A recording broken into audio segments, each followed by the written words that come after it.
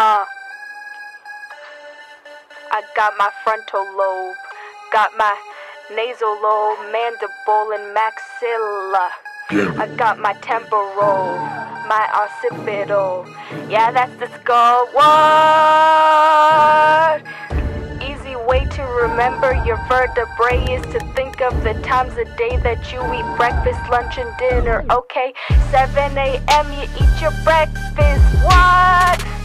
Got your atlas in your axis. What? In your cervical vertebrae, that's where the 7 is. Now we can move on over to the thoracic. 12 p.m. That's when you eat your lunch. Thoracic. That's what you call them. What? Now we move on down to the lumbar. That's where you eat your dinner at 5 p.m. Ah. Then you move on your sacrum.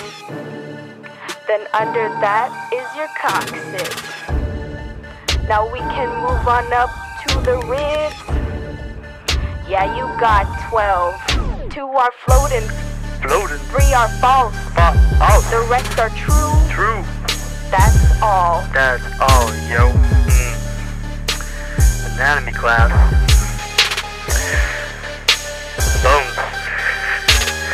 Let me introduce you to my friend, Mr. Skeleton, here to help me break it down with lesson plans. The bone is in your head.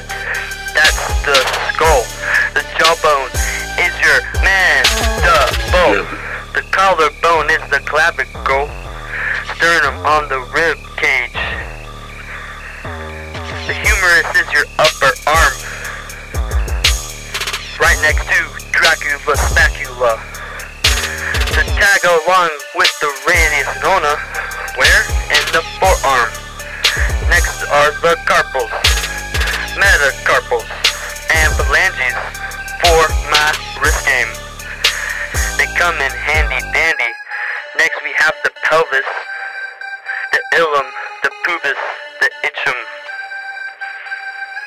They help move our legs.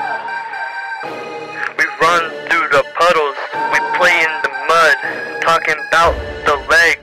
Ooh, oh so fresh. Understand the femur, the upper leg, tibia in the front, fibula in the back. If you think you broke your knee, you broke your patella. Tarsals are in the ankle, metatarsals are in the foot, next to phalanges in my shoes. Joints are an important part, like the glide, freely moving